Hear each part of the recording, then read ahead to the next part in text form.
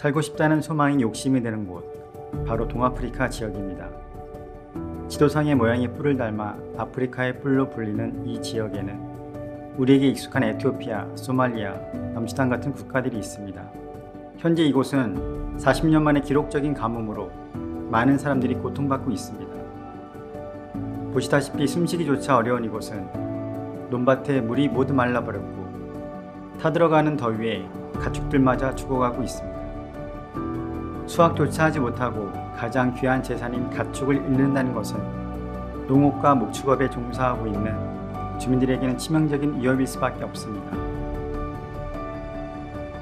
2,300만 명이 넘는 사람들이 심각한 기아에 직면해 있으며 소말리아, 에티오피아, 케냐에서만 570만 명의 아동이 극심한 영양실조에 시달리고 있습니다. 50초마다 한 명씩 사망하고 있는 동아프리카의 가뭄.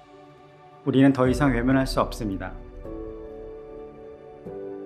길어지는 재난에 국제사회의 관심은 점차 줄어들었지만 지금 이 순간에도 굶주림이라는 소련 전쟁은 조용히 생명을 앗아가고 있습니다.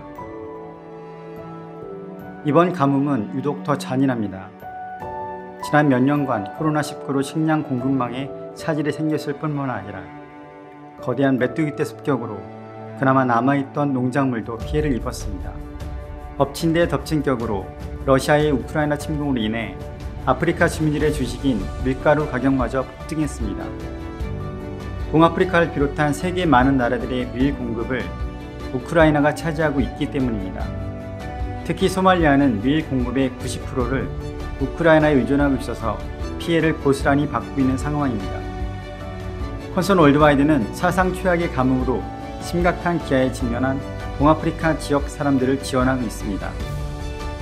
하지만 더 많은 생명을 살리기 위해서 여러분의 관심과 도움이 반드시 필요합니다.